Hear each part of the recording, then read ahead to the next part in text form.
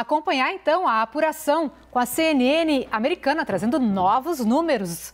Por lá, vamos ver?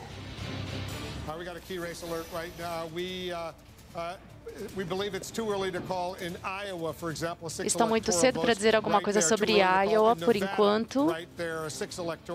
Em Nevada temos seis votos eleitorais.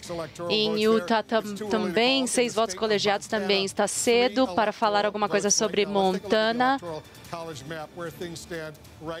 Então vamos olhar agora o, o mapa do colégio eleitoral.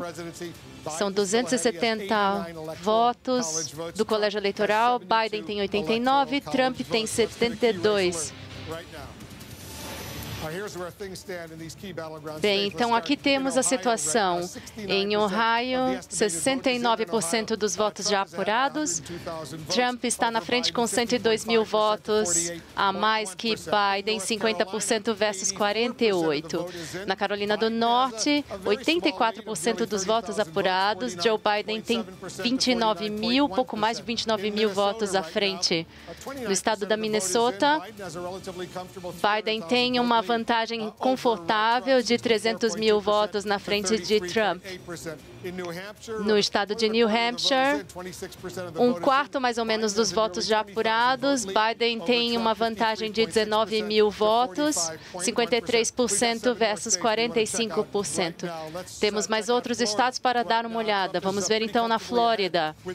Trump está com uma vantagem confortável, 93% dos votos apurados, 382 mil votos na frente de Biden.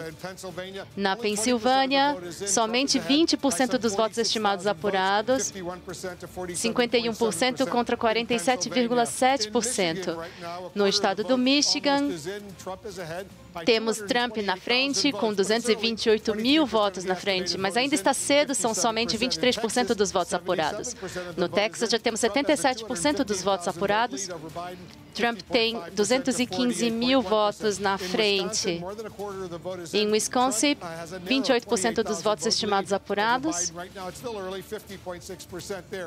No estado da Geórgia, 51% dos votos apurados. Trump com uma vantagem confortável de 346 mil votos de vantagem. Na Virgínia, Trump tem a vantagem de 189 mil votos contra Biden 53% versus 45,3%. Bem, então, John, o que, o que temos aqui agora no mapa? Bom, estamos olhando aqui por condados, estamos falando sempre dos estados, mas aqui você tem o um mapa por condado. De volta aqui com a gente na CNN Brasil,